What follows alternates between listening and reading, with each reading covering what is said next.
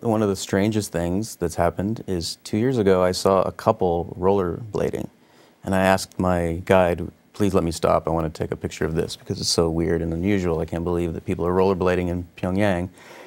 And now, two years later, it is one of the most popular uh, recreational activities in all of Pyongyang, and I've seen it in other cities. And in fact, I was driving near the the DMZ, the demilitarized zone, and I saw a woman, a, a, farmer, clearly on a bicycle, and her son holding onto the back of the bike, being dragged behind on his rollerblades. There are, I don't know, there must be a dozen, maybe two dozen rollerblading facilities in Pyongyang alone, and in all the public areas, everyone, and not just kids. There's grown-ups out there rollerblading. So there's a great example, and I have photographed that, and people have said that is clearly not true. That is set up, but I've watched it grow. It's all over. I can look out the window and drive through town when people don't know I'm there, and I see it everywhere. Fascinating. Yeah, like, it's very unusual. Yeah, who knew?